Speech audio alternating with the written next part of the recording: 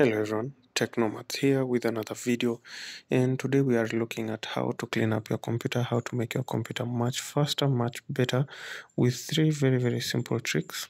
However, the last one, be aware that it's gonna take some time to complete but at the end of the day the objective is to make your computer faster and to maximize whatever resources are at your disposal at that specific moment in time.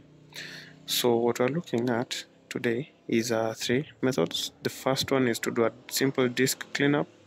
The second one is to perform a DISM tool just to scan for the health of your PC. And the last one is a sort of a ditch method. you know, it's the last option if the other two don't seem to work for you. And the last method is to simply go into recovery and refresh your PC all the methods I'm showing you here guarantee that your data remains exactly how it was as intact and as safe as possible while improving your computer by removing any redundant files, any unused registry items or any broken registry items. If you like the video, if you like the content, don't forget to subscribe, share the videos, share the channel and encourage your friends to participate in the same. Thank you.